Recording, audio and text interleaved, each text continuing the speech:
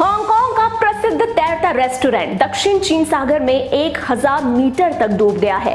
ये घटना हांगकांग के पैरासेल द्वीप के पास हुई। प्रतिकूल परिस्थितियों के चलते इस जम्बो रेस्टोरेंट की मुख्य बोट डूब गई। हादसे में किसी के घायल होने की खबर नहीं है। रेस्टोरेंट को बचाने का प्रयास जारी है। जम्बो रेस्टोरेंट जहाँ डूबा है, वहाँ गहराई 1000 मीटर से भी ज़्यादा है। इसीलिए बचाव व राहत कार्य में मुश्किलें आ रही है।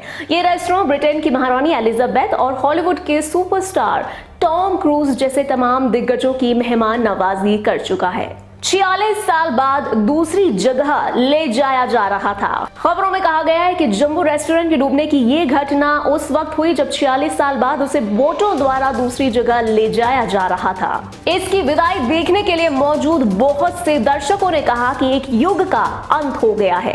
इससे पहले कई स्थानीय राजनेताओं ने सरकारी निवेश के साथ रेस्टोरेंट को बचाने की इच्छा व्यक्त की थी, लेकिन इस विचार को हांगकांग के मुख्य कार्यकारी कैरी लैम ने खारिज कर दिया था।